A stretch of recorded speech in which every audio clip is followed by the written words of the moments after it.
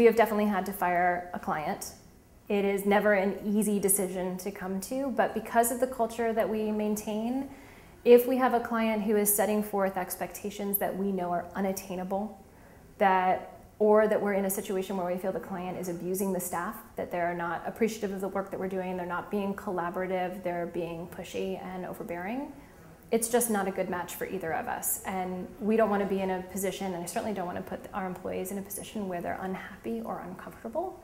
I would much rather say thank you very much to that client, let them find an agency that will help them in another way. And I've actually gone as far for clients that we have fired, I've gone as far as introducing them to other agencies that might be able to work with them because I don't want anyone to leave us with a, a negative experience or that it, it just, you know, we didn't help them and we just left them high and dry.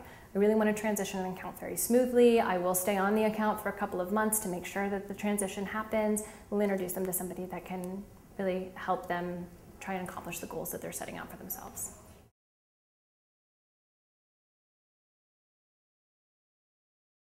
We've made a few changes to the business as a result of the recession.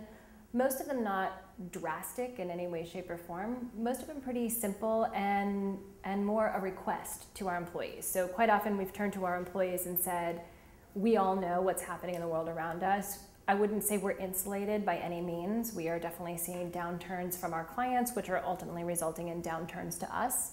As a result, we just need to be smarter about how we're spending the company's money overall. So we've asked people to consider, do you really need to take a taxi somewhere or can you take the subway there?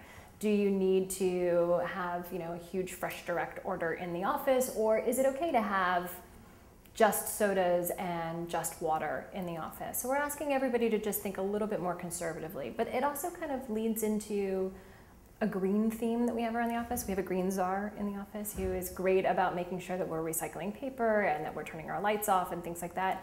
And I think the whole process of asking people to take subways as opposed to taxis is really helping that whole green message. It's a really hard question to answer in our industry.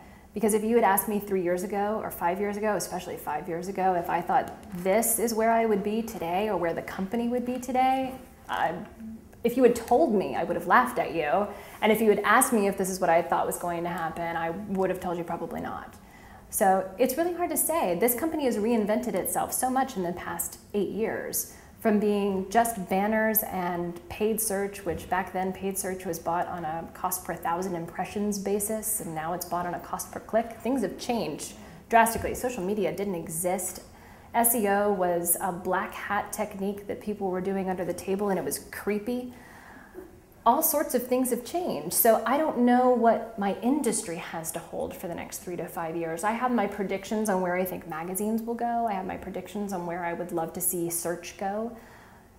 I think there's going to be a lot of game changing elements that come to the table that will force us to continue to reinvent ourselves. So, what do I think will be in three to five years? I don't know. Will we be completely different in three to five years? Absolutely. My ideal role at Morpheus, and I have said this for I think seven or eight years, is to be the receptionist. I know it's crazy.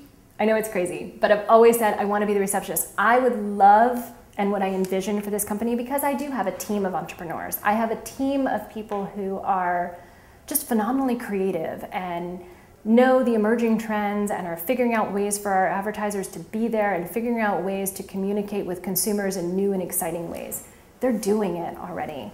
I'm still involved on that level because they still need that person who is helping to deliver the historical vision and also the overarching strategy.